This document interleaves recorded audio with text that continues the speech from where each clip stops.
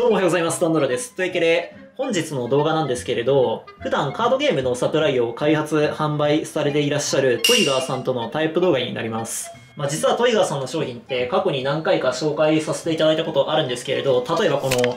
ダメージダイスとかね、これとかかなりね、まあ僕がやってるカードゲームやる上ですごい便利なんで、てか僕大会出るときは大体未だにこれ使ってますね。あと最近だと持ち運びしやすいデッキケースであるとか、あとカード整理しやすいアタッシュケースみたいなやつとか、そういうのもいろいろ販売されていらっしゃるんで、まあよければ概要欄から公式サイトを見てみるといいと思います。で、その中で今回紹介させていただくのが何なのかっていう話なんですけれど、こちらですね。よっ。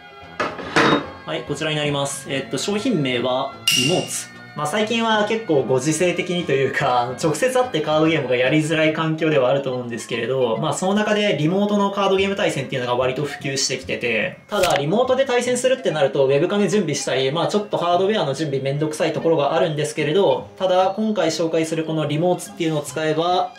まあ後で詳しく説明するんですけれど、一言で言ってしまうと、スマホ1台があるだけで手軽にリモート対戦ができるようになりますよっていう、そういう商品ですね。で、この商品組み立て自体はすごい簡単で、今多分画面にね、あの、早送りで映ってると思うんですけれど、今日は実際にこれ使ってオンライン対戦してる様子っていうのも映そうと思うので、よければ最後まで見ていってくれればいいなと思います。で、このリモーツ何が便利かっていうと、パッと見はただのスマホ固定アームなんですけれど、よっ。まあ、ここにこんな感じでスマホを固定しますと、まあ、そうすると本来だったらまあ当たり前なんですけど、こっちの壁が映りますよね。ただ、これがトイガーの発明品といいますか、この魔法のクリップを使うと、ちょっと待ってね。よっ。あ、来た来た来た。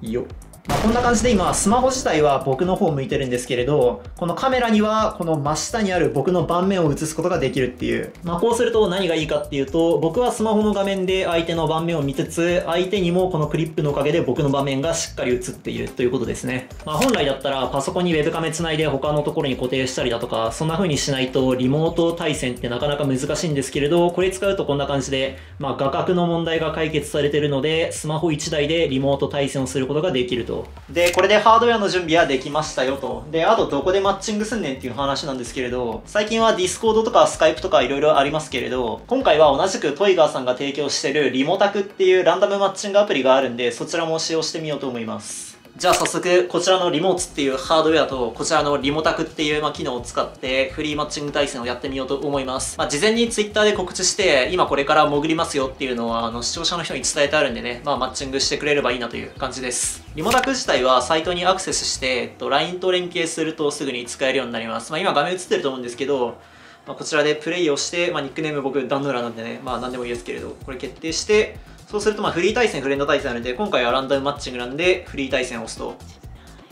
そうすると、まあ、えープレイするカードゲームの種類選んでくださいって出るんで、僕の場合はポケモンカードゲーム。で、まあ、このレギュレーションまで押すと、こんな感じで対戦相手募集中っていう風でマッチングが始まるんで、まあ、ちょっと戻りますけれど、まあ、今からこのスマホをリモートに設置してランダムマッチやっていこうと思います。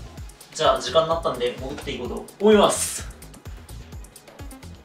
えーまあ、リモタクにアクセスして、ポケモンカードのスタンダードを入力すると、まあ、今マッチングしてますよと。やばい、俺が麻雀初心者におすすめの サイトを見てるのがバレる。これでね、当たんないとちょっと放送事故寄りになるんで怖いんですが。お、来た来た。